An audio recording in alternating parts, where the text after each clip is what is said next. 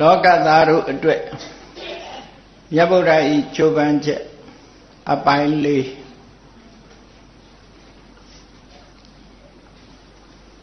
မြတ်စွာဘုရားသခင်ကိုရောမြတ်ပင်စဝဂီတွေကစပြီးအမှန်တရားကိုနားလည်အောင်ကြိုးကြိုးစားစားနဲ့ရှင်းလင်းပြီးဆုံးမဩဝါဒပေးလိုက်တဲ့အခါ တယုတ်တည်နားဆိုင်ထောင်ကြတဲ့ပင်စဝဂီယဟန်တို့ယတတထေသာတို့ယတတထေသာရဲ့တငယ်ချင်း၄ယောက်တို့ပြင်နယ်မှာရှိကြတဲ့သူ့ရဲ့တငယ်ချင်း90ဒီပုဂ္ဂိုလ်တွေဟာထူးခြားတဲ့အသိဉာဏ်တွေရပြီးတော့သာသနာပေါင်းဝင်ရောက်ခဲ့ကြတယ်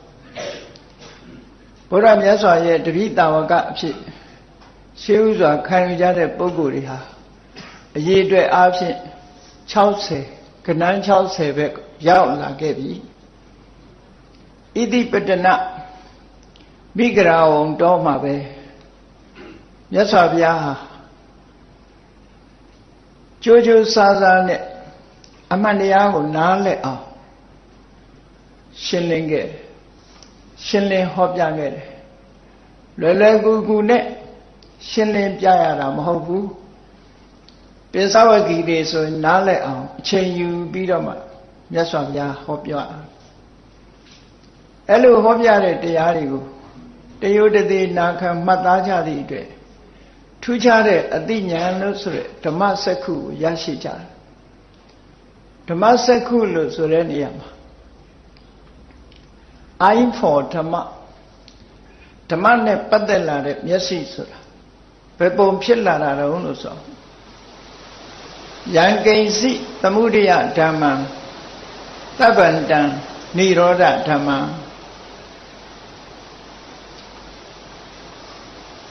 ဖြစ်ချင်းသဘောရှိတဲ့တရားမှန်သမျှဟာချုပ်ဆုံးကွယ်ပြောက်ခြင်းသဘောရှိတယ်ဆိုတဲ့အသိဉာဏ်ရသွားတာ အဲ့ဒီရဲ့အသိဉာဏ်ရဲ့တန်ဖိုးကအင်တမကြီးမားတယ်အမှန်တရားကိုသိရှိနားလည်သွားတာဟာဖြစ်လာတာမှန်သမျှဟာနောက်ဆုံးမှာပျက်စီးခြင်းမှာပဲအဆုံးသတ်တယ်လို့ဒီအတိတရားရလိုက်တဲ့ဖြင့်တွေ့တာမှုတွေကိုရှော့ချနိုင်ပြီးနောက်ဆုံးမှာရှင်ထဲကပူလောင်တဲ့တောကတွေကိုကြော်လွှားနိုင်ကြလို့ ဟရိယတတန်တိလို့ခေါ်တဲ့စိတ်နှလုံးရဲ့အေးချမ်းမှုကိုရရှိခံစားသွားကြရတယ်။တရားဝရရဲ့ပူလောင်နေတဲ့စိတ်နှလုံးကိုမြတ်စွာဘုရားဟာအေးချမ်းတဲ့အမတန်အေးချမ်းစေနိုင်တဲ့ဓမ္မရေးစဉ်ဖြင့်ဆွဖြန်းပေးလိုက်သည့်အတွက်ကြောင့်အပူပင်ကင်းပြီးတော့သွားကြတယ်ယတတထေသာတို့ဆိုတာ အဗ္ဗဓမ္မချမ်းသာပေမဲ့လို့စိတ်နှလုံးဟာအေးချမ်းမှုမရှိဘူးဒါကြောင့်မြတ်စွာဘုရားရဲ့တရားရေးစဉ်နဲ့စိတ်နှလုံးအေးချမ်းမှုသာဝရအငြိမ့်တက်ကိုရရှိသွားတယ်သူ့ကိုအားကြပြီးတော့တကယ်ဒိဋ္ဌံတထေသားတွေဟာလေသာသနာပေါင်းဝင်ရောက်လာကြနေမှနေကြတဲ့ယတရဲ့တငယ်ချင်း90ဟာလေခြေစုံပြစ် ရင်ပေးပြီးတော့သာသနာပေါင်းကိုဝင်ရောက်ခဲ့ကြတယ်ဝင်ရောက်လာတဲ့ပုဂ္ဂိုလ်တိုင်းကိုဘုရားမြတ်စွာဟာသူတို့နဲ့လိုက်အောင်တရားဓမ္မကိုရှင်းလင်းဟောပြသည့်အတွက်ကြောင့်အလုံးဟာစိတ်နှလုံးအေးချမ်းမှုကိုရရှိပြီးတော့သွားကြတယ်လို့ယဟန္တာအပား60လောကမှာပေါ်ထွန်းလာတဲ့အခါမှာဘုရားမြတ်စွာကယဟန်တို့ ကြော့ခွင်းအလုံးကတင်တို့လည်းလွတ်ပြီငါလည်းလွတ်ပြီငါလွတ်တယ်လို့တင်တို့လည်းလွတ်ပြီအလုံးတို့နှောင်ဂျိုးတွေကနေပြီးတော့လွတ်မြောက်လို့တကယ်ကိုလွတ်လပ်မှုအရသာကိုတို့တွေရရှိခံစားကြရပြီလို့ဒီလိုမိတ်ရှိပြီးတော့ဘုရားမြတ်စွာဟာဗာရဏသီအနီးကဣတိပတနမိဂရာဝံတော်မှာ ဖျားဖြစ်ပြီးပထမဆုံးဝါဆိုတော်မူခဲ့ပါတယ်အဲ့ဒီဝါရင်းကာလမှာလဲလာရောက်ကြသမျှတရားတွေကိုတရားဓမ္မဟောပြောလို့အလုံးလူသားတွေသူတို့အဆင့်အတန်းအလိုက်လက်ပြေလန်းခီးနိဗ္ဗာန်လန်းခီးပေါ်ပို့တင်ပေးပြီးတော့လောကသားတွေရဲ့အကျိုးအတွက် မနာမနေကြိုးစားအထောက်ခဲ့ပါတယ်အဲ့လိုကြိုးစားအထောက်ပြီးဝါကျွတ်တဲ့အခါကာလမှာမြတ်စွာဘုရားကမိမိတပည့်တော်ကအပါ60မိမိတို့တတ်သိနားလည်တဲ့တရားဓမ္မတွေဟောဖို့ပြောဖို့တရားကိုမနာရရလို့ရှိရင် ဆုံးရှုံးနစ်နာကြတယ်တရားကိုနားလည်တဲ့ပုဂ္ဂိုလ်ဆိုတာလောကမှာရှိနေတယ်ဒါကြောင့်မို့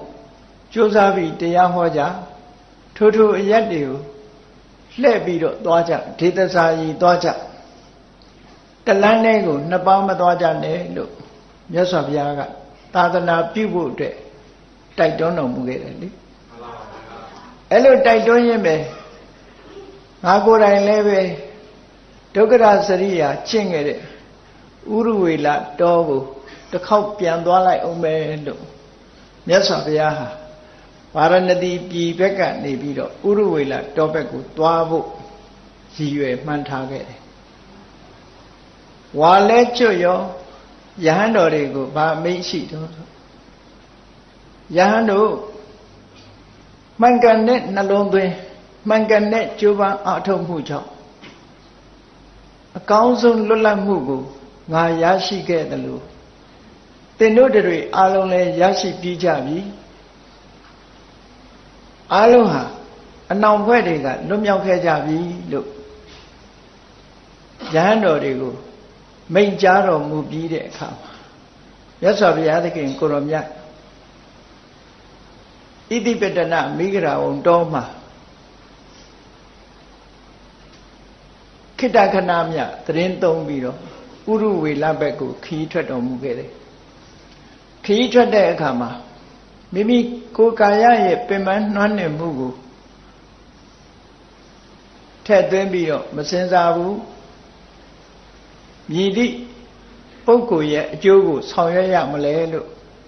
အမြဲတမ်းလောကကြီးကိုရှုစားပြီးတော့ဘလောက်ဖဲဝေးဝေး ဟောလို့ပြောလို့နားလည်မဲ့ဆိုတဲ့ပုဂ္ဂိုလ်မျိုးပေါ်ပေါက်လာလို့ရှိရင်ကိုယ်တိုင်သွားရောက်ပြီးတော့ဟောပြောဖို့ရဝန်မလေးဘူးဒါကြောင့်မို့ဥရဝေလခရီးကိုကုန်းချောင်းလမ်းခရီးဖြင့်ဥရဝေလဘက်ကိုမြတ်စွာဘုရားသခင်ကိုရောမြတ်ရှောက်လှမ်းတော်မူလာခဲ့လမ်းခရီးမှာတောအုပ်ကြီးတစ်ခုတည်းရောက်လာရောက်လာလို့ ခိတ္တခဏအပန်းဖြေတဲ့အနေအားဖြင့်တောအုပ်အတွင်းမှာရှိတဲ့တစ်တပင်ရင်းမှာမြတ်စွာဘုရားခိတ္တခဏထိုင်နေပြီးတော့အပန်းဖြေတယ်အဲ့ဒီအချိန်မှာတောအုပ်ထဲမှာလှည့်လည်ပြီးတော့သွာလာနေကြတဲ့ဗတ္ထဝက်ခီလို့ခေါ်တယ်အုပ်စုတစ်ခုဒီအုပ်စုကကောသလမင်းကြီးရဲ့ သားတော်မင်းသားတွေပဲဖြစ်တယ်သူတို့ဟာလွတ်လွတ်လပ်လပ်နေခြင်းသည့်အတွက်ကြောင့်တိုင်းပြည်ရဲ့အာဏာကိုမရယူဘဲနဲ့လွတ်လွတ်လပ်လပ်တောထဲမှာလေပတ်ပြီးပျော်ပျော်ပါးပါးနေကြတဲ့ပုဂ္ဂိုလ်တွေညီကို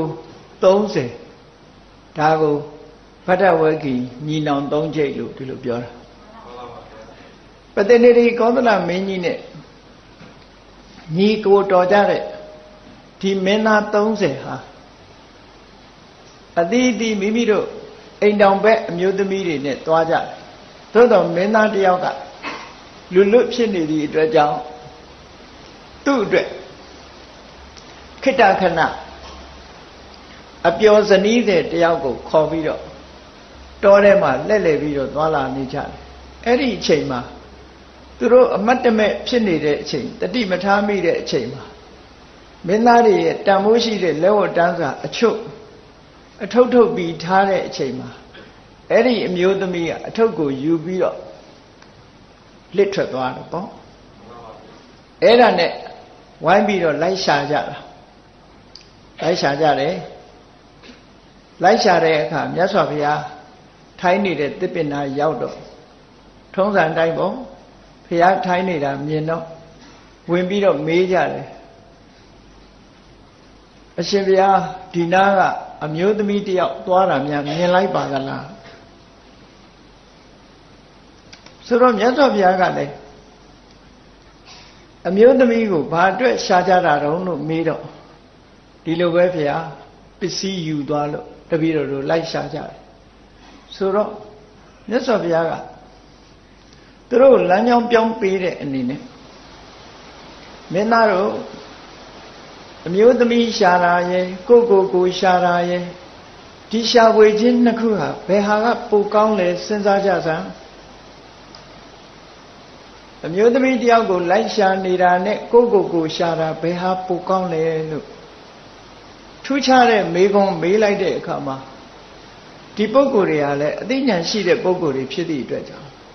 ဟုတ်သားပဲမြို့သမီးလိုက်ရှာနေလို့တို့ဘာအကျိုးရှိမှလဲ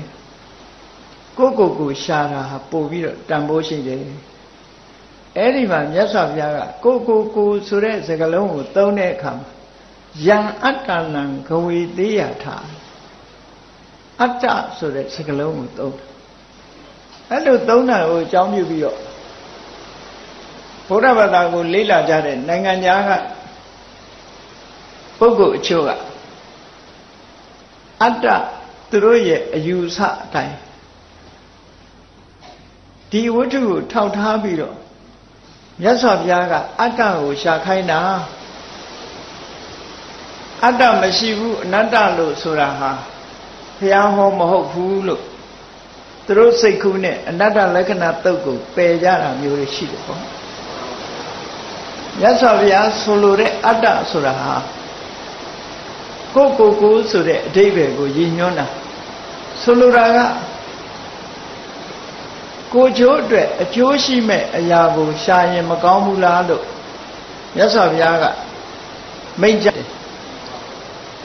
ဗဒ္ဒဝေခိမင်းသားတွေကတော့နားလည်လိုက်တယ်ဟုတ်တယ်တို့ဟာကိုကိုကိုမရှာဘဲနဲ့သူများကိုပဲရှားနေကြတာဒါမှားရနေလို့အသိဉာဏ်လူရလာတဲ့အခါအမှန်တိုင်းဖြေကြတယ် မမဗျာကိုယ့်ကိုရှာတာပိုကောင်းပါလေအေးအဲ့ဒါလို့ကိုယ့်ကိုကိုရှာတာပိုကောင်းတယ်ဆိုလို့ရှိရင်ဒီနားမှာခဏထိုင်ကြ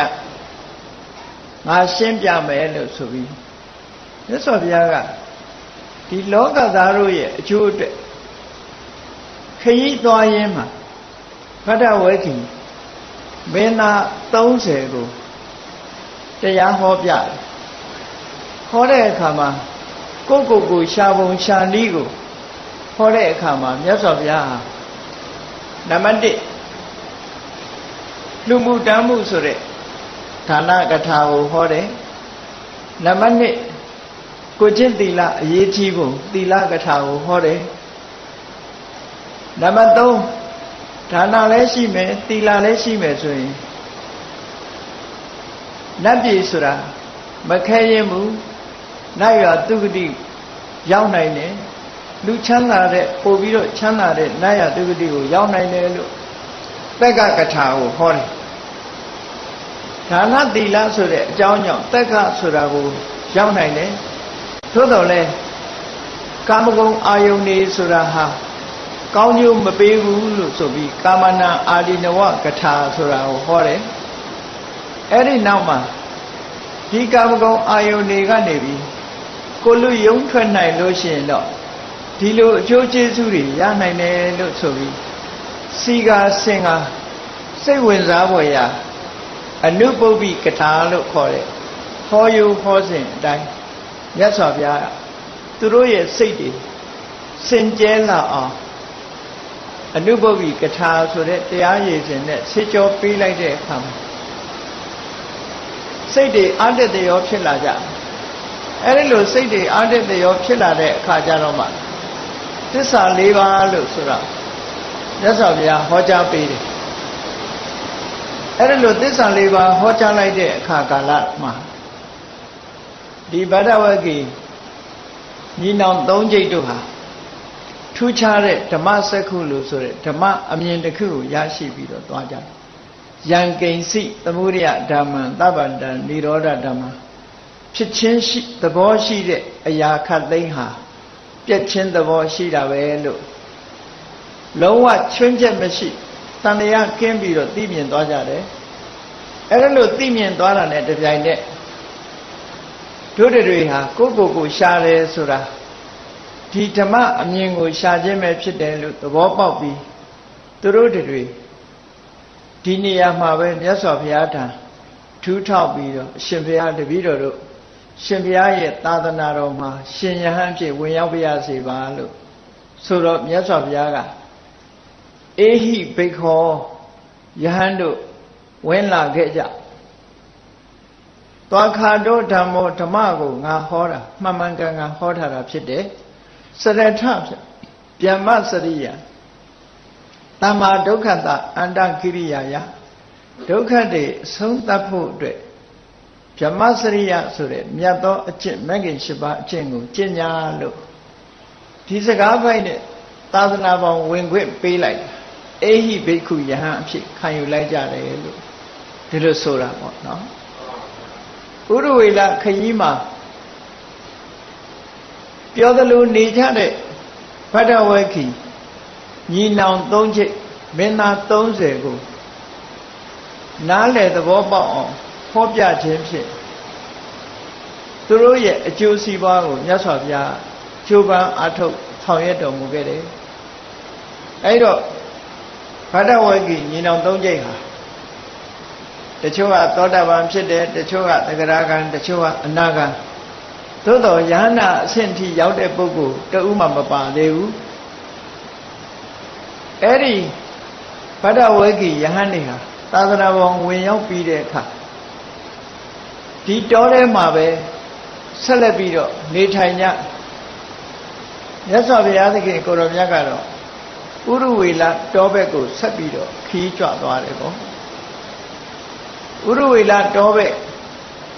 ဥရဝေလတောဆိုတာတစ်ချိန်တုန်းက6နှစ်ပတ်လုံးဒုက္ခရာစရိယာကျင့်ခဲ့တဲ့တောပဲအဲ့ဒီထဲမှာတရားကျင့်တဲ့ပုဂ္ဂိုလ်တွေမြောက်များစွာရှိတယ် ဘုရားလောင်းတာကျင့်ခဲ့တာမဟုတ်ဘူးတရားကျင့်တဲ့ပုဂ္ဂိုလ်တွေမြောက်များစွာရှိတယ်ဥရဝေလတောရောက်တဲ့အခါကျတော့ဥရဝေလတောထဲမှာတပြည့်ယတိအချမ်းရ900နဲ့ဒီမိပူဇော်ခြင်းလောကမြအကုသိုလ်တွေကိုဆေးကြောပြီးရေရေချိုးပြီးဆေးကြောတန့်စင်ခြင်းဆိုတဲ့တပအကျင့်နေကျင့်နေတဲ့ဥရုဝေလ ကတ္တဗာလို့နာမည်ကြီးတဲ့ယသိကြီးတူလည်းရှိတယ်တခါသူ့ရဲ့ညီအရင်နေရင်စရာမြစ်အကြေမှာတပိ300နဲ့အတူတကွသူ့လိုပဲရစ်ပူဇော်ခြင်း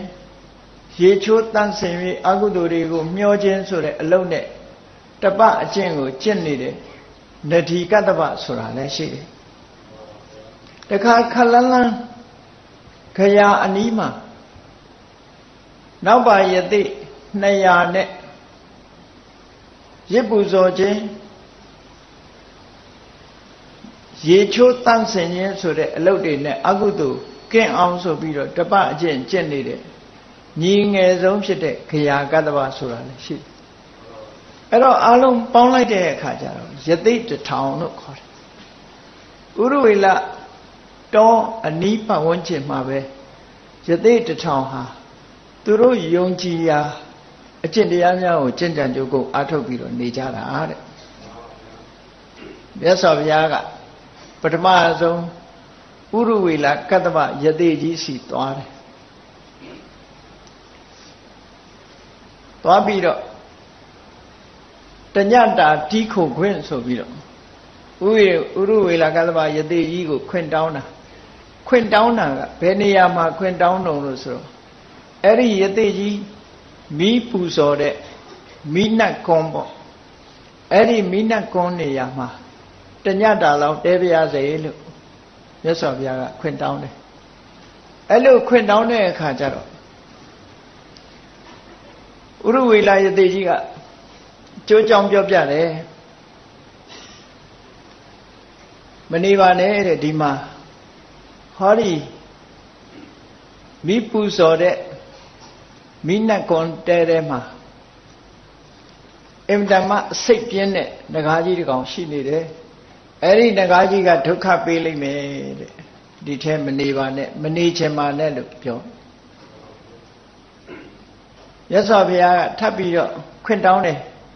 ဝန်မလေးဘူးဆိုရင် तू တညတာနေပြရစေပါလို့ထပ်ပြီးတော့တားမြစ်တယ် तू က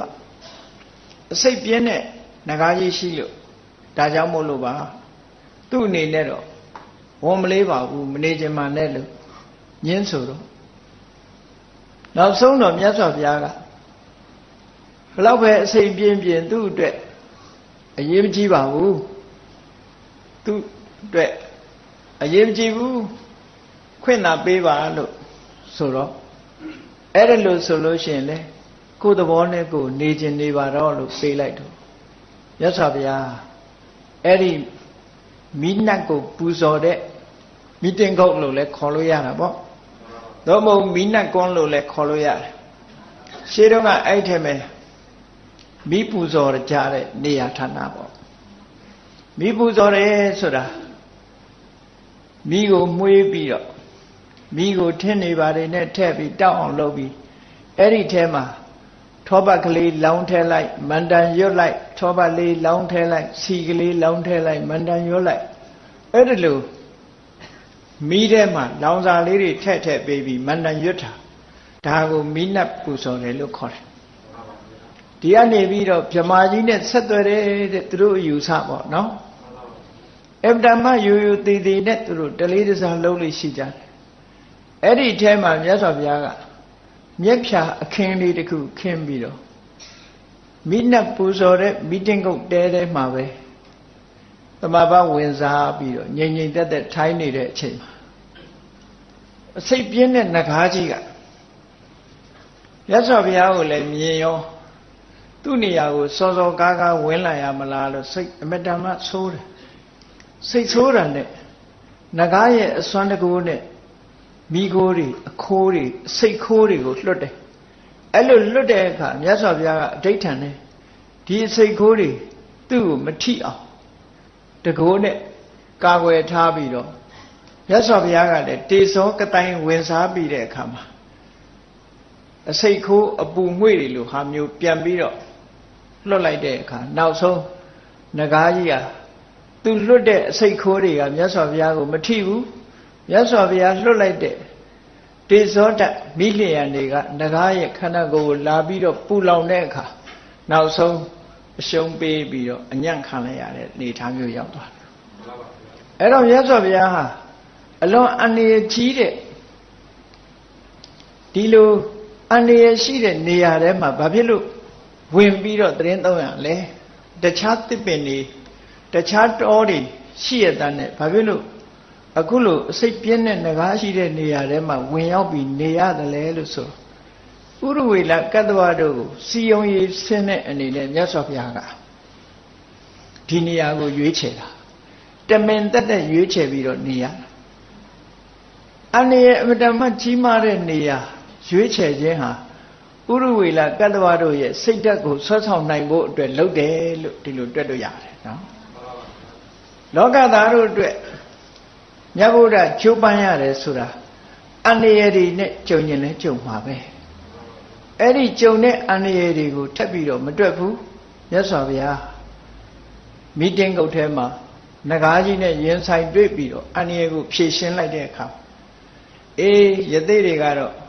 တညာလုံးအဲ့ဒီမီတင်းကုတ်ထဲကမိအောင်နေတပြောင်ပြောင်တောင်းနေတော့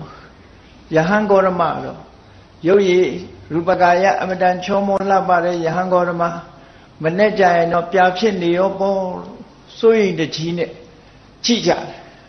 မနဲ့လဲမိုးလင်းရောလာတဲ့အခါကျတော့မြတ်စွာဘုရားကထိုင်ရဲ့ဘာမှမဖြစ်ဖဲတွေ့တော့သူတို့တအံတော်ဖြစ်သွားတယ်အဲ့ဒါလို့တအံတော်ဖြစ်တဲ့အခါမြတ်စွာဘုရားကဥရဝေလာကတ္တဝယသိကိုပြတယ်ဒီမဲ့ မိတင်းကုတ်ကြီးကိုလွှမ်းမိုးပြီးတော့မိပူဇော်တဲ့နေရာမှာဝင်ရောက်ပြီးတော့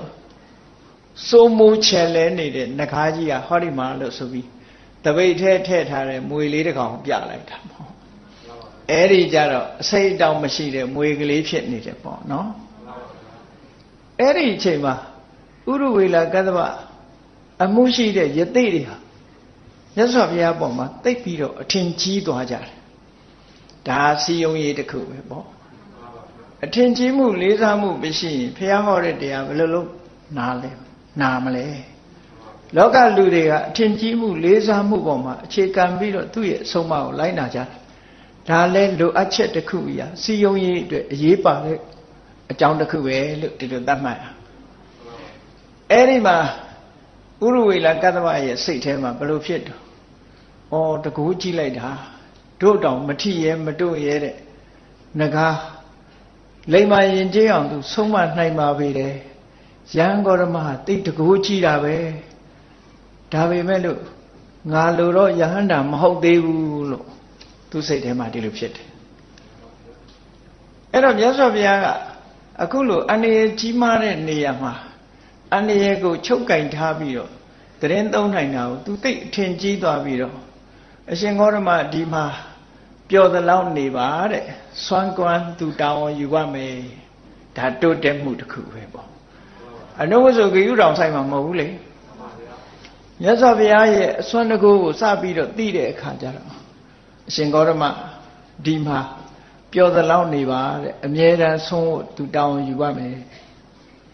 ဆိုတော့မြတ်စွာဘုရားကအဲ့ဒီမှာဆက်ပြီးတော့သတင်းသုံးတာညရောက်တဲ့အခါကျတော့ မြတ်စွာဘုရားသတင်းသုံးတဲ့နေရာမှာဝင်းဝင်းလက်လက်အယောင်ကြီးတွေဟာတောက်ပပတာကိုသူတို့မြင်ရတယ်အရက်လေးမျက်နှာကဝင်းလက်တောက်ပတဲ့အယောင်ကြီးတွေနဲ့မြတ်စွာဘုရားသတင်းသုံးတဲ့နေရာကိုရောက်ရှိလာကြတာတွေကိုမြင်တော့တအံတော်ညကကြည့်မနဲ့မိုးလင်းတဲ့အခါမြတ်စွာဘုရားထံဆွမ်းသာသွားပင့်ရင်မေးတယ်ညကဒီမှာအရက်လေးမျက်နှာဘက်ကအလင်းရောင်ကြီးတွေလာနေတယ်အဲ့ဒါ ဘာတွေလဲလို့မေးတော့မြတ်စွာဘုရားကမဟုတ်ဘူးတဲ့စတုမာရနမင်းကြီး၄ယောက်ဟာတရားနာဖို့တရားမေးဖို့ညတကောင်ငါစီလာကြတာလို့ဆိုတော့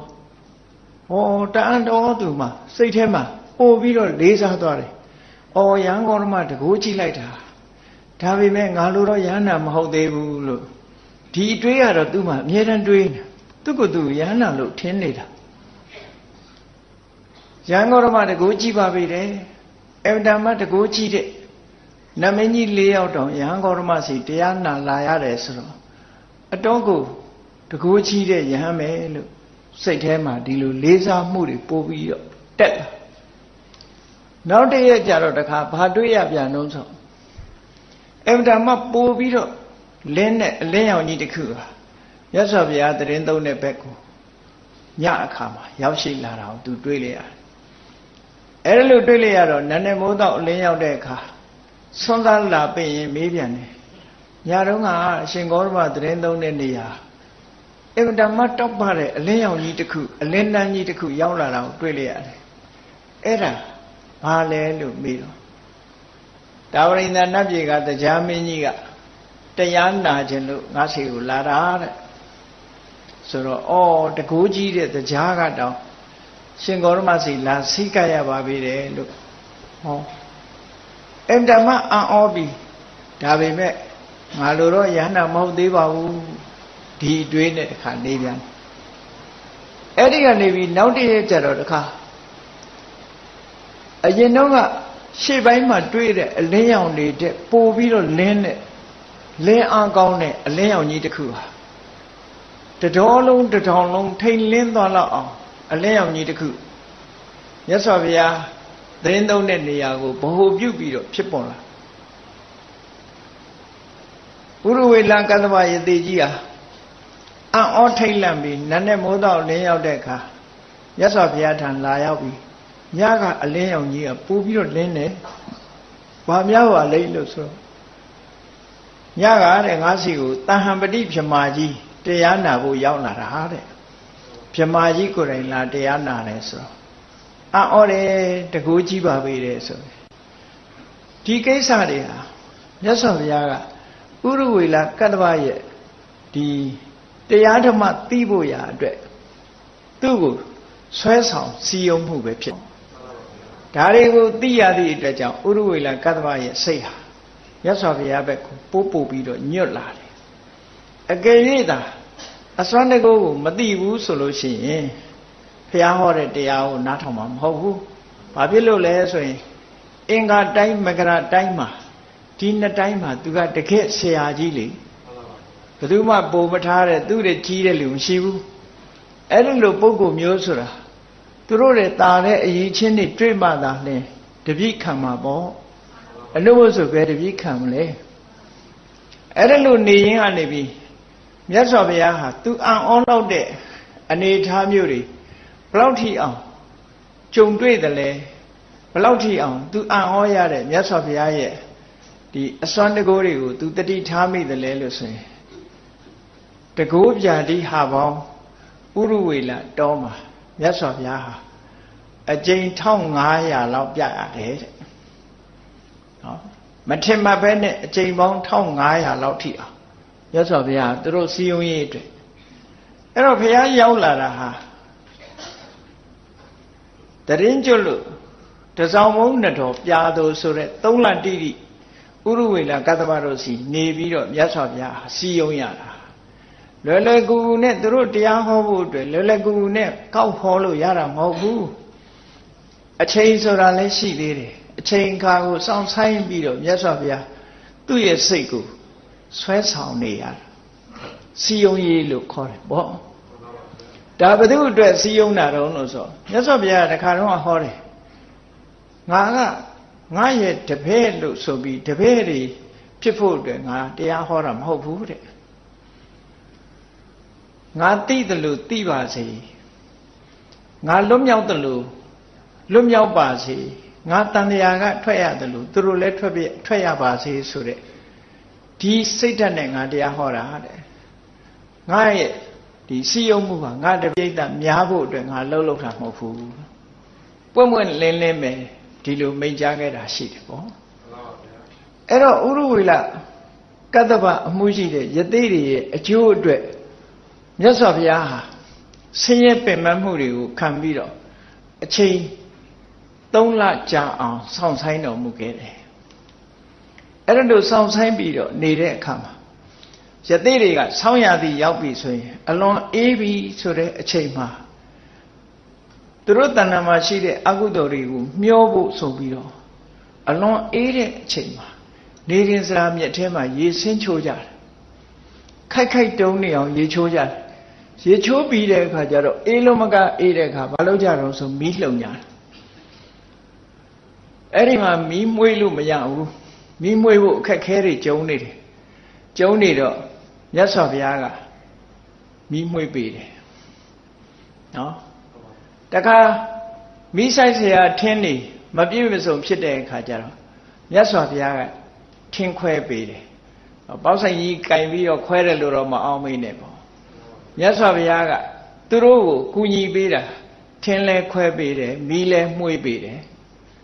ရတဲ့တွေ ဒီရေချိုးပြီးတဲ့အခါမီးလုံမို့ဆိုတာမြတ်စွာဘုရားရဲ့အစွမ်းတကူနဲ့ဒီမှာမီးလုံစရာလဲရတယ်အဲ့ဒီမီးတွေ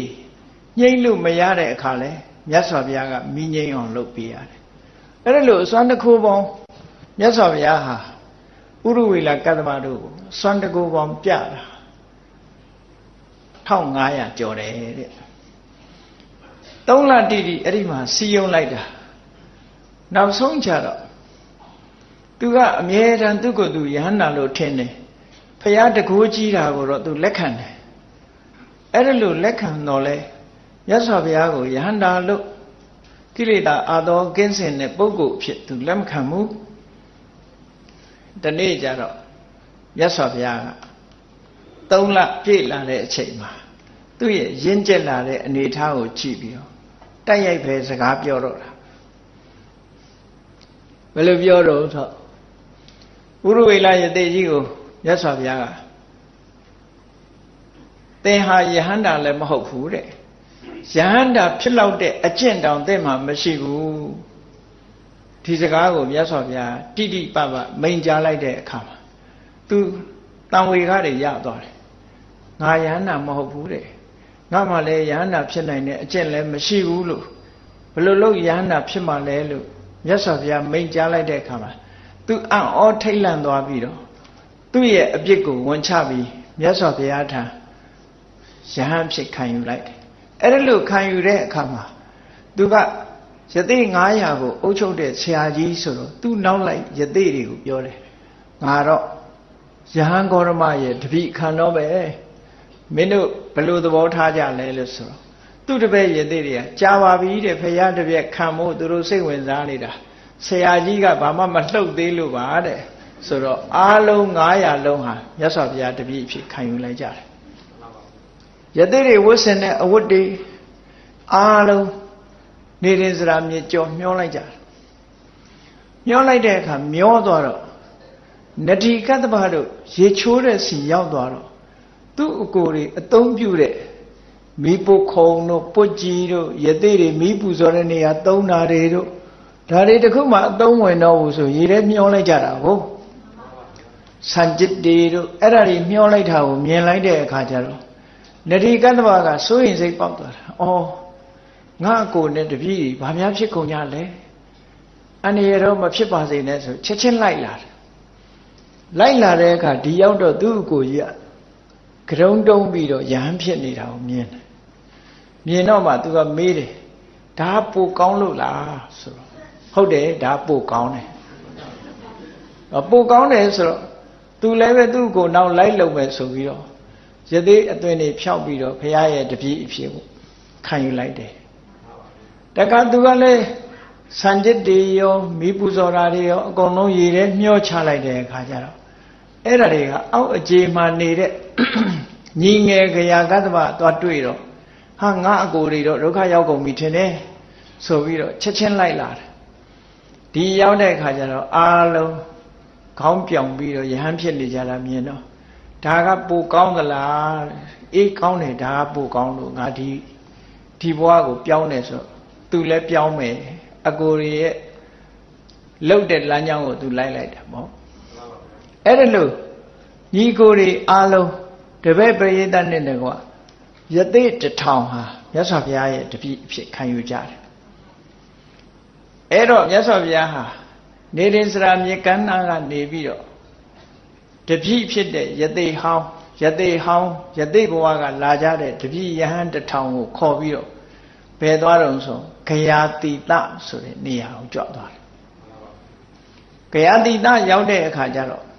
အာဒိဋ္ဌပရိယာယတုတ်ကိုဟောတယ် ဘာဖြစ်လို့ဒီတရားကိုရွေးချယ်တယ်လဲလို့ဆိုရင်သူတို့ကမီးပူဇော်တာမီးနဲ့အမြဲတမ်းအလုံးလုံးနေတော့သူတို့စိတ်ထဲမှာမီးရဲ့တဘာဝကိုသိရှိနေကြတော့မြတ်စွာဘုရားကအဲ့ဒီမီးတဲ့အရေးကြီးတဲ့မီးတွေသင်တို့မှာရှိနေတယ်ဆိုပြီးတော့ရာဂမီဒေါသမီမောဟမီဇာတိစရာဗျာတိမရဏသောကပရိဒေဝ ဒုက္ခဒေါမနတဥပါယတာလို့ဆိုတဲ့တစ်ဆက်တမီအဲ့ဒီတစ်ဆက်တမီသောမီးတွေညှိမ့်မို့ရာပိုရေးကြည့်တယ်ဆိုတာကိုမြတ်စွာဘုရားကအာရိတ္တပရိယာယသုတ်ရှင်းလင်းဟောလိုက်တဲ့အခါဒီသုတ်တန်လည်းဟောပြီးရောယသိတထောင်ဟာတရားသူတရားမြတ်ကိုရရှိပြီးတော့သွားကြတယ်အဲ့ဒီကြိုးပမ်းမှုတွေအားလုံးဟာလောကသားတို့ရဲ့အတွက်မြတ်ဗုဒ္ဓရဲ့ကြိုးပမ်းချက်ပဲဖြစ်တယ်ပေါ့ ယသိတထောင်ဥရဝေလကတ္တဗတို့လမ်းကြောင်းမှန်ပေါ်ရောက်လာကြတယ်အကယ်၍သာသူတို့ဆက်လက်ပြီးတော့သူတို့အကျင့်တိုင်းဆက်ပြီးတော့ကျင့်သွားမယ်ဆိုရင်ဘာတစ်ခုမှမရတဲ့အပြင်ကိုဆင်းရဲမှုဆိုတဲ့အတ္တကိလေသာနုယောဂနဲ့အစင်မသိရင်အပင်ငယ်တောင်ကြာကြမဲ့ပုံကိုယ်တွေကြီးပဲအဲ့ဒါကိုမြတ်စွာဘုရားကကဲတင်လိုက်နိုင်နေပေါ့လောကသားတို့အတွက် မြတ်စွာဘုရားရဲ့ကြိုးပမ်းအထောက်မှုတစ်ခုပဲအဲ့ဒါလို့ဥရဝေလကသမအမှုပြုတဲ့ယသိဘွားကပြောင်းလာတဲ့ယဟန်တထောင်ခေါ်ပြီးတော့မြတ်စွာဘုရားဂယာတိတဘက်ကနေပြီးတော့ဘယ်ဘက်ကိုခရီးထွက်သွားတော့လို့ဆိုတော့ရာဇဂိုပြည်ဘက်ကိုခရီးထွက်လာခဲ့တယ်ရာဇဂိုမြို့နဲ့သုံးကဝုတ်ဒီ6မိုင်လောက်ခက် လန်းလန်းမှရှိတယ်ထန်းတော်ဥယျာဉ်တွေကိုရသော်ဘုရားသခင်ကိုရောမြခိတ္တခဏဝင်ရောက်ပြီးတော့သတင်းသုံးတယ်အဲ့ဒါလိုသတင်းသုံးနေတဲ့အချိန်မှာဒီအချိန်မှာမြတ်စွာဘုရားရဲ့သတင်းဟာအမြဲတမ်းကြီးမားနေတယ်ပေါ့အမြဲတမ်းကြီးမားနေတယ်အနေနဲ့ရရမှာပြန့်နှံ့နေတယ်တာဂဝင်မင်းသားဘဝကနေပြီးတော့ယဟန်ပြုလာတဲ့ တာဂဝင်လူမျိုးကနေပြီးတော့တောထွက်ပြီးတော့ယဟန်ဝလာတဲ့ယဟန်ဂေါရမဟာအဗဓမ္မထူးခြားတဲ့အရေးချင်းတွေနဲ့ပြည့်စုံတယ်တကယ်ကိုလောကမှာယဟန္တာအစ်စ်ဖြစ်တယ်ဒီလိုယဟန္တာအစ်စ်ဖြစ်ဖို့သူကိုယ်တိုင်တရားတို့တရားမြတ်တွေကိုကိုယ်ပိုင်ဉာဏ်နဲ့သိတယ်အရဟံတမ္မာတမ္ဗုဒ္ဓောဆိုဂုံအရေးချင်းတွေပေါ့အဲ့ဒါလို့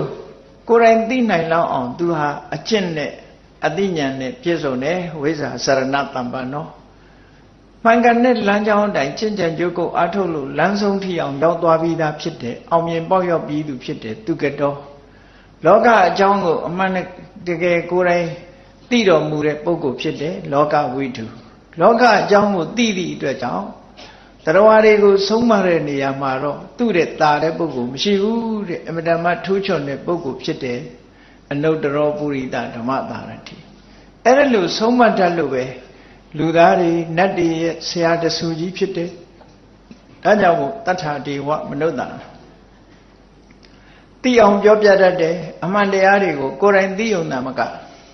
တရားတွေသိအောင်နားလည်အောင်ဟောတတ်လို့ဗုဒ္ဓဆိုတဲ့အရေးချင်းနဲ့လည်းပြေဆုံးတယ်ရုပ်ရည်အစင်းကလည်းအမြဲတမ်းစက်တည်ရှိတဲ့ရုပ်ရည်မျိုးဖြစ်သောကြောင့်ဘဂဝါ လေးစားတတ်တဲ့ပုဂ္ဂိုလ်ဖြစ်တယ်လို့ဆိုတဲ့တရင်ဟာအဲ့ဒီနယ်အနှံ့ပြောရမယ်ဆိုရင်လူတွေရဲ့အတိုင်းဝိုင်းနေမကဘူးနတ်တွေရဲ့အတိုင်းဝိုင်းမြမာတွေရဲ့အတိုင်းဝိုင်းထိအောင်အကုန်လုံးဟာဒီတရင်ဟာပြန့်နှံ့မိတာဖြစ်နေတယ်အဲ့တော့ပြန့်နှံ့နေတဲ့တရင်ရာလတ္ထိဝနလို့ခေါ်တဲ့ထံတော်ဥယျာဉ်ထဲမှာ ရသော်ဘုရားအမှုပြုတဲ့ယဟန်တထောင်ရောက်နေတယ်ဆိုတဲ့သတင်းဟာရာဇယုမြို့တစ်မြို့လုံးကိုလွှမ်းခြုံသွားတဲ့သတင်းတစ်ခုပဲဖြစ်တယ်။ဒါကြောင့်မို့ရာဇယုမြို့အုပ်စိုးနေတဲ့ဗိမိတာရမင်းကြီးဟာငကိုယ်တည်းကတရားတရားရှိတဲ့ပုဂ္ဂိုလ်ဖြစ်တယ်။ဖះနဲ့ယဟန်နေထန်းတော်ဥယျာဉ်နဲ့ရောက်နေတယ်လို့ဆိုတဲ့သတင်းကြားတာနဲ့ပဲတိုင်းသူပြည်သားတွေက ဗြဟ္မဏဂါပတိကလို့ခေါ်တဲ့ဗြဟ္မဏလူမျိုးတွေအယောင်းဝယ်နဲ့အသက်မွေးကြတဲ့ဂါပတိတွေအားလုံးဒီတသိန်း2000အရေးအတွက်တသိန်း2000ရှိတဲ့ပုဂ္ဂိုလ်တွေအချမ်းရံနဲ့ဗေမိတာရမင်းကြီးဟာမြတ်စွာဘုရားကိုလာရောက်ပြီးတော့တွေ့ဆုံတယ်ပေါ့အဲ့ဒါလို့တွေ့ဆုံတဲ့အချိန်မှာ မြတ်စွာဘုရားကသူတို့နဲ့တန်တဲ့တရားကိုဟောတယ်ဟောတယ်ဆိုတော့ဘာတွေဟောတော့ဆိုဒါနကထာဒါနအကြောင်းဟောပြောတယ်ဒါနကထာဟာဒီလူမှုတမ်းမှုဆိုတာလူတွေမှာလုပ်ဖို့ရလွယ်ကူတယ်ပေါ့ဒါကြောင့်မို့လို့လွယ်ကူမှုကနေစပြီးတော့အမတန်မှအကျိုးရှိတဲ့အလုပ်ဖြစ်တယ်ဆိုတာကိုဒါနကထာနဲ့ဟောပြီးဒါနရဲ့အကျိုးကျေးဇူးတွေကိုဖော်ပြ အဲ့ဒီဒါနလုပ်တဲ့အခါမှာကိုကျင်တရားကောင်းမှုလိုအပ်တယ်ဆိုပြီးသီလကထာဒါနနဲ့သီလပြည့်စုံရင်နတ်ပြည်ဆိုတာမခက်ဘူးလို့ဆိုတဲ့တက်ကကထာနတ်ပြည်ရဲ့ချမ်းသာမှုဒီ၃မျိုးနဲ့စိတ်ဓာတ်တွေအတ္တတရောဖြစ်လာအောင်ဟောပြီးတဲ့အခါမှာကာမဂုဏ်အာယုန်တွေရဲ့အပြစ်ကိုဟောပြီးကာမဂုဏ်အာယုန်တွေကိုစွန့်ပယ်လိုက်ရင်ထိတယ်မကကြီးမားတဲ့အကျိုးကျေးဇူးရနိုင်တယ်ဆိုတာကိုမိမောင်ထိုးပြလိုက်တဲ့အခါကျတော့ ကာမဂုဏ်အာယုန်တွေကိုစွန့်ပယ်လို့တဲ့စိတ်ဓာတ်တွေဟာပြင်းထန်လာကြတယ်အဲ့ဒီအချိန်မှာမြတ်စွာဘုရားကဒုက္ခသမုဒယនិရောဓမက္ခလို့ဆိုတဲ့သစ္စာ၄ပါးဆိုတာရှင်းလင်းဖော်ပြတယ်ဥပမာပါနဲ့တူတော့ဆိုရင်အဝတ်ကလေးတစ်ခုဆေးအောင်ဆိုးခြင်းလို့ရှိရင်တောက်တောက်ပြောင်ပြောင်အရာရဖို့အယောင်ရဖို့အတွက်ရှေးဥစွာဒီအဝတ်ကိုတန့်စင်အောင်ဖွက်ရတယ် ဖွက်ပြီးတဲ့အခါမှာကိုလိုတဲ့အယောင်ကိုဆိုးတယ်လို့ပဲတဲ့မြတ်စွာဘုရားဟာတရားဝရရဲ့စိတ်တရားနာပုဂ္ဂိုလ်ရဲ့စိတ်တန့်စင်သွားအောင်ဒါနကထာစိတ်ပါလာအောင်ဟောတယ်တီလကထာစိတ်ပါလာအောင်ဟောတယ်အေးတက္ကကထာစိတ်ပါလာအောင်ဟောတယ်ပြီးပြီဆိုတဲ့အခါကျတော့ကာမဂုဏ်အာယုန်တွေရဲ့အပြစ်ကိုထောက်ပြတယ် ကာမဂုဏ်အာယုန်တွေကရှောင်ရှားထွက်ခွာသွားလို့ရှိရင်ဘယ်လိုအကျိုးကျေးဇူးတွေရနိုင်တယ်ဆိုတာကိုထောက်ပြတယ်နောက်ဆုံးမှာစိတ်တွေဟာအတ္တတရောဖြစ်လာတဲ့အခါကျတော့မှအယောင်ဆိုးပြီးတဲ့အနေနဲ့ဒုက္ခဒုက္ခသမုဒယဒုက္ခនិရောဓဒုက္ခនិရောဓဂ ामि နိပฏิပဒါလို့ဆိုတဲ့သစ္စာ၄ချက်ကွင်းကွင်းကွက်ကွက်ရှင်းပြလိုက်တဲ့အခါမှာဓမ္မစက္ခုလို့ဆိုတဲ့တရားအမြင်တစ်ခုရရှိသွားကြတယ် ယံကိဉ္စိသမုဒယဓမ္မံတပ္ပန္တံនិရောဓဓမ္မံဒီအတိလေးဟာတမန်အသိမဟုတ်အဗဓမ္မတန်ဖိုးရှိတဲ့အသိဖြစ်ချင်းသဘောရှိတဲ့အရာမှန်သမျှပြက်ချင်းသဘောရှိတယ်ဆိုလုံးဝတန်တရားမရှိဘူးเนาะဖြစ်လာတာမှန်ရင်နောက်ဆုံးပြက်မှာပဲဆိုတာကိုနားလေသဘောပေါက်သွားတာဟာအင်တမအရေးပါတဲ့အသိဉာဏ်တစ်ခုပဲသို့မဟုတ်လို့ရှိရင်တရားတွေဟာဖြစ်လာတဲ့အရာပေါ်မှာ တဒန်းတတာတွယ်တွယ်တွယ်နဲ့မမောနေကြမှာဟုတ်ဟောဖြစ်လာရင်နောက်ဆုံးဟာပျက်စီးခြင်းချုပ်ဆုံးခြင်းမှအဆုံးသတ်တယ်လို့ဆိုတဲ့အခါမှာဒီပေါ်မှာတွေ့တာမှုတွေရှော့ချလာနိုင်တယ်ပေါ့တွေ့တာမှုတွေရှော့ချလာနိုင်တာနဲ့အမျှစိတ်နှလုံးရဲ့အေးချမ်းမှုဖြစ်ပေါ်စေတယ်တွေ့တာမှုတွေတန်လန်းရှိနေသမျှထိုတွေ့တာမှုတွေပေါ်မှာစိုးရိမ်တော့ကဆိုတာဝင်ရောက်နေကြမှာပဲ အဲ့ဒီစိုးရိမ်တော့ကဆိုတဲ့ဝင်ရောက်နေမှုတွေကပြတ်ကဲပြတ်ဆဲဖို့အတွက်တွေ့တာမှုဆိုတာကိုရှော့ချနိုင်ရမယ်လို့အဲ့ဒီတွေ့တာမှုတွေကင်းပြောက်ဖို့အတွက်မြတ်စွာဘုရားကသိမြင်ဖို့ရအမြင်တစ်ခုမှန်ကန်တဲ့အမြင်တစ်ခုကိုပေးလိုက်တာဒါကိုဓမ္မစက္ခုလို့ခေါ်တယ်ဖြစ်သည်မြတရားမှန်သည်မြနောက်ဆုံးဟာပျက်စီးခြင်းမှာအဆုံးသတ်တယ်အဲ့ဒီအတိနဲ့တွေ့တာမှုတွေအလုံးကိုရှော့ချပြီး တောကကိုဖယ်ရှားနိုင်ကြလို့စိတ်နှလုံးအေးချမ်းမှုကိုရရှိကြတယ်ဒီလိုဆိုတာအဲ့ဒီမှာဘေမိတာရမင်းအမှုပြုတဲ့တသိန်း2000သောပရိသတ်ထဲကတသိန်းနဲ့1000ကသောတာပန်ဖြစ်သွားပြီကြံတဲ့1000ကတော့ဗုဒ္ဓဘာသာအဖြစ်ကူပြောင်းလိုက်ကြတယ်ပထမဆုံးရာဇဂိုခရီးမှာမြတ်စွာဘုရားရဲ့တရားတော်တို့အတွက်ကြိုးပမ်းအားထုတ်ချက်ဟာ အောင်မြင်တယ်လို့ဒီလိုပြောမှာပေါ့အဲ့ဒီမှာဗေမိတာရမင်းကြီးကမြတ်စွာဘုရားကိုလျှောက်တယ်အရှင်ဘုရားတဲ့တပည့်တော်မင်းသားဘဝတုန်းကအင်တမမျောလင်းခဲ့တာတဲ့မျောလင်းချက်ကြီးတွေသူ့မှာရှိခဲ့ပါတယ်တဲ့အဲ့ဒီမျောလင်းချက်ကြီးကဘာတော့ဆိုရင်မင်းသားဆိုတာဘယင်ဖြစ်ခြင်းပဲပေါ့အဖေကလည်းမိဖုရားများတော့ ဘယင်ဖြစ်ဖို့ဆိုတာတော်ခက်တယ်လေသားသမီးတွေညီကိုတွေကလည်းများတာကိုများတော့ဒီဘယင်ဖြစ်ဖို့ဆိုတာအခွင့်အရေးကြီးဖြစ်နေတာအဲ့ဒါကြောင့်မို့ဗေမိတာကမင်းသားဘဝတုန်းကငါတနေ့ကြာလို့ရှင်ဗိသိက်ခံဘယင်ဖြစ်ရရင်ကောင်းမှာပဲဆိုတဲ့မျှော်လင့်ချက်ကြီးသူတခုရှိခဲ့တယ်အဲ့ဒါလည်းသူ့မှာပြည့်ပြည့်စုံသွားပါပြီတဲ့ လောကမှာဖျားပွင့်လာလို့ရှင်အဲ့ဒီဖျားဟာသူ့နိုင်ငံကိုကြွလာရင်ကောင်းမှာပဲလို့မျှော်လင့်ခဲ့ပါတယ်တဲ့အဲ့ဒါလည်းအခုပြည့်ပြည့်စုံသွားပါပြီကြွလာတဲ့အခါမှာသူကိုယ်တိုင်သွားရောက်စိကတ်လိုခြင်းနဲ့စိကတ်ပြရစေလို့မျှော်လင့်ခဲ့တယ်အဲ့ဒါလည်းသူစိကတ်မှုပြုရသည့်အတွက်ကြောင့်ပြည့်ပြည့်စုံဖြစ်သွားပါပြီအဲ့ဒီမြတ်စွာဘုရားကသူ့ကိုတရားဟောပါစေဆိုတဲ့မျှော်လင့်ချက်လည်းအခုသူတရားနာရလို့ပြည့်ပြည့်စုံသွားပါပြီ အဲ့ဒီတရားကိုသိနာလဲရရင် ကောင်းမှာပဲလို့ဆိုတဲ့မျှော်လင့်ချက်လည်းအခုတရားနဲ့ပတ်သက်လို့သူနားလဲသဘောပေါက်သွားပါပြီသောတာပန်ဖြစ်ဆက်ဖြစ်တယ်ဆိုတာအမှန်မြင်ခြင်းနဲ့တန်တရားခင်းခြင်းပဲဖြစ်တယ်လေဓမ္မနဲ့ပတ်သက်ပြီးသူအမှန်မြင်သွားပြီတန်တရားတွေကင်းသွားပြီဒါကြောင့်မို့သူ့ရဲ့မျောလင်းချက်တွေအလုံးပြည့်ပြည့်စုံသွားပြီလို့ဒီလိုလျှောက်ထားခဲ့ပါတယ်အဲ့လိုလျှောက်ထားပြီးတော့ ဗေမိတာရမင်းကဟောဒီလတ္ထိဝနာဆိုတဲ့ထန်းတော်ဥယျင်ဟာရာဇဂုံမျိုးနဲ့အတန်အသင့်လှမ်းကွာနေသည့်အတွက်ကြောင့်ရာဇဂုံမျိုးနဲ့မနီးလုံးမဝေးလုံးဖြစ်တဲ့အမတမตาယာလှပတဲ့ဝေလူဥယျင်ကြီးဆိုတာရှိပါတယ်အဲ့ဒီဝေလူဥယျင်ကြီးကိုမြတ်စွာဘုရားသတင်းတော်မို့သူကလှူဒန်းမယ်လို့ဆိုပြီးတော့မြတ်စွာဘုရားကိုပင့်ပြီး နောက်ရက်မှာဝေလူဝံဥယျာဉ်ကြီးကိုရေစက်ချပြီးတော့လှူဒန်းတာပထမဆုံးလှူတာပဲအဲ့ဒါလို့ဝေလူဝံဥယျာဉ်ကြီးကိုလှူတော့မြတ်စွာဘုရားဟာဝေလူဝံဥယျာဉ်ထဲမှာဒီရာဇဂိုရဲ့ပထမခရီးမှာဝေလူဝံဥယျာဉ်ကြီးကိုလှူခံပြီးတော့အဲ့ထဲမှာတတိတာဝကတွေနဲ့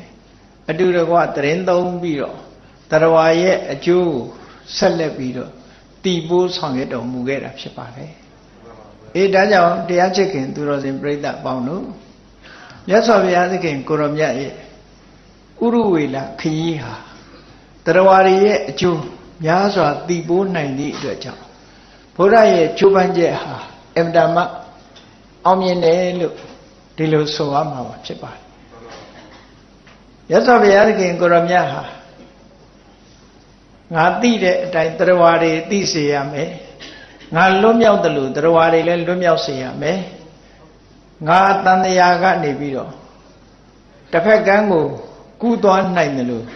တရားဝါတွေအားလုံးဟာလည်းနိဗ္ဗာန်ဆိုတဲ့တစ်ဖက်ကန်းကိုကူးနိုင်စေရမယ်လို့ဆိုတဲ့မျှော်လင့်ချက်ကြီးတွေကိုအကောင့်ထဲပေါ်ပြီးတော့ဆောင်ရွက်နိုင်ခဲ့တယ်ဆိုတာကိုသိရှိကြီးညိုပြီးတော့ဘုန်းကြီးတို့တွေဗုဒ္ဓနုတ္တိဘာဝနာနဲ့မြတ်စွာဘုရားရဲ့ကြိုးပမ်းချက်ကိုကြီးညို တဲ့တရားတရားနဲ့ကုသိုလ်တရားတွေဖြစ်ပွားအောင်ကြိုးစားအားထုတ်နိုင်ကြပါစေကုန်သတည်း